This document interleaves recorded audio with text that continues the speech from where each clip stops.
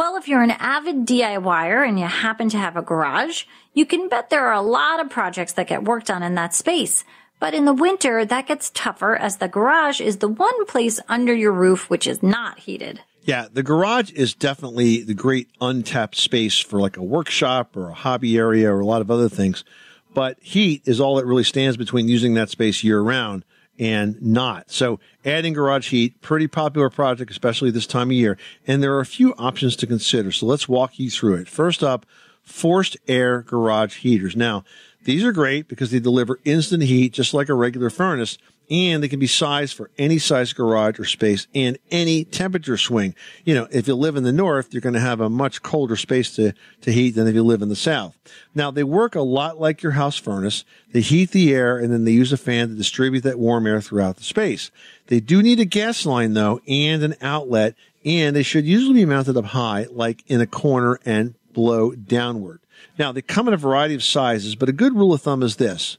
For a two car garage, you need about a 45,000 BTU unit. And for a three car garage, you need a 60,000 BTU unit. And by the way, those are big numbers. When you think about the size of a furnace, the average furnace for a house is going to be under 100,000 BTUs. So you're talking about like 50, 60% of what you need to heat the, the entire house. So this is something that you do need that much power, but you're not going to use it a lot because it gets pretty expensive. Yeah, now there's also infrared garage heaters. That's another option. And these radiate the heat rather than use a conventional blower fan. Now they work well when you're only looking to heat a specific area as opposed to an enclosed space.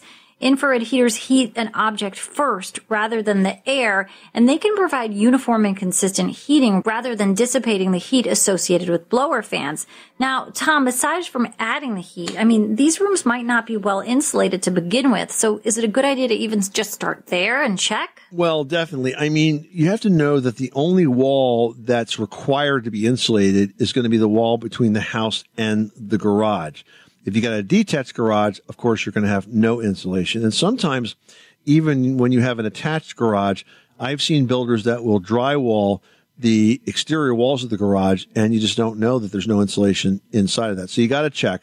And the other thing that you can do is you can beef up your garage door. Now, most are not insulated, but you can add foam panels to inside, just inside the door. You can glue foam panels, cut them to fit and add them to the inside of the door. They don't add much weight and they definitely will warm up that door and then check the weather stripping around the outside. These are things that you can improve at a very, very marginal cost.